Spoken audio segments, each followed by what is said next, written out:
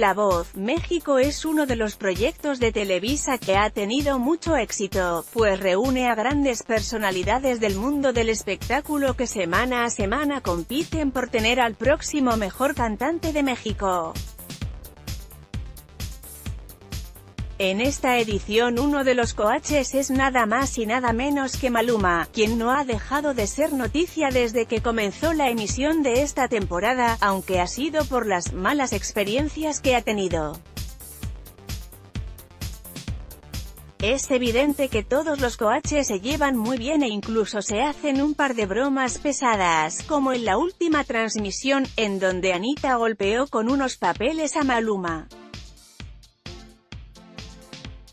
Aunque Carlos Rivera sí se pasó un poquito de la raya, pues elogió el talento de su compañera Anita y le dijo que era una e super, super, mujer, pero cuando se refirió a Maluma solo le dijo, lo importante es que él tiene salud.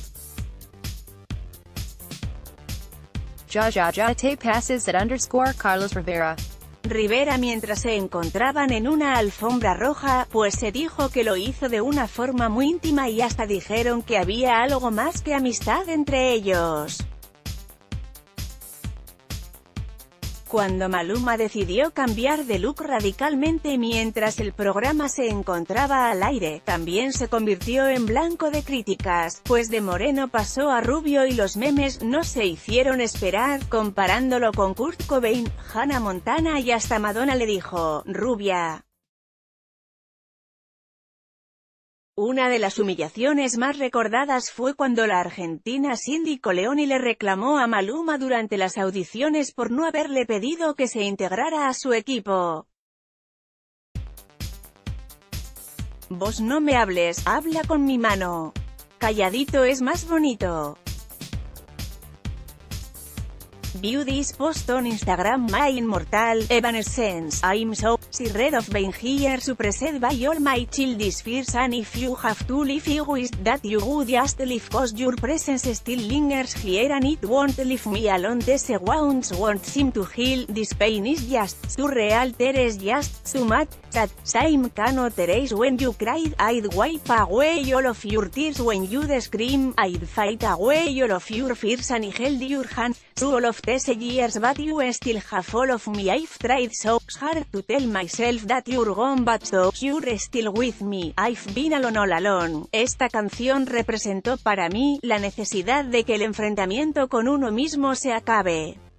De ya no querer alimentar ese lado temeroso del ser que nos quita la luz que se lleva todo.